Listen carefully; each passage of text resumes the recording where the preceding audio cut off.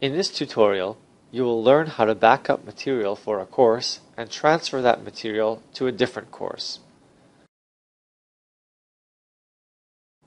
For the purposes of this tutorial, we will back up content in the zoology course and restore that same content in the biology course. First, enter the zoology course. At the moment, the zoology course has three activities. The first step is to back up this content. In the administration block, navigate to Course Administration, Backup.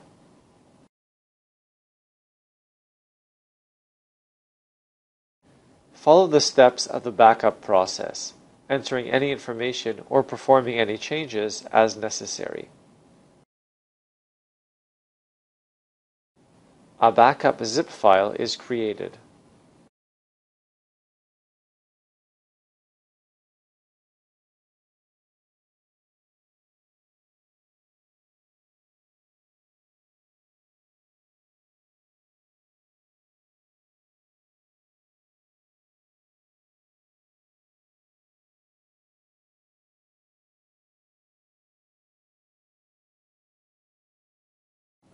Let's now enter the course into which we want to restore the backup material, the biology course. The course is currently empty. There is no content here. In the administration block, navigate to Course Administration, Restore.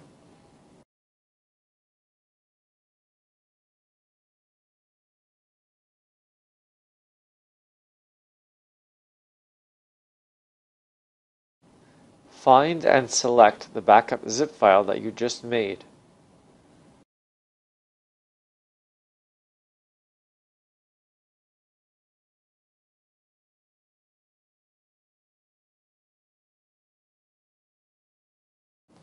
Click Restore.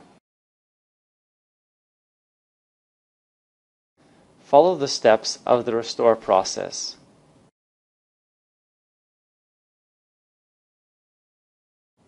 The destination step is important. On this page, there are several places where you can click Continue. To restore the content into the biology course, click the Continue button in the Restore into this course area. Complete the rest of the steps of the restore process, entering any information or performing any changes as necessary. Change the course name and short name so that it is not overwritten.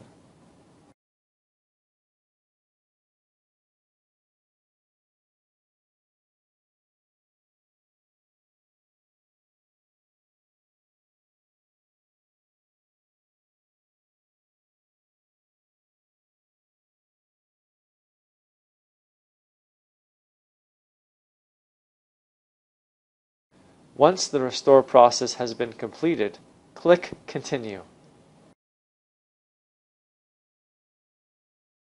The three activities from the zoology course are now in the biology course as well.